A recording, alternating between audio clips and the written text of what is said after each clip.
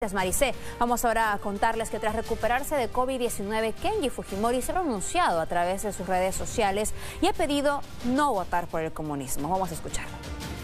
¿Qué tal? ¿Cómo están? Acá reincorporándome poco a poco a mis actividades a raíz de todo lo que me tocó vivir eh, con el COVID, una experiencia durísima, eh, complicada. Pero les voy a contar de manera breve cómo es cuando yo me entero que tengo COVID. El día lunes que me hacen el examen y me dicen que he salido positivo, automáticamente todas las ideas, pensamientos se te empiezan a, formar como una mazamorra. Pero cuando ya empiezas a tranquilizarte dentro de todo el problema, te das cuenta que tienes dos posibilidades. Que el virus avance y te termine quitando la vida, o que el virus retroceda y te salves. Y muchas veces tú no puedes controlar esos factores. Ahora, ¿a qué voy?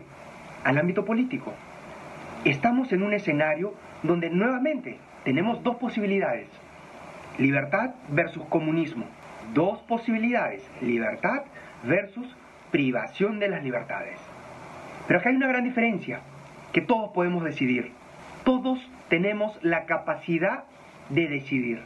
Y por supuesto, yo voy a optar por la libertad. Voy a trabajar, luchar y defender la libertad.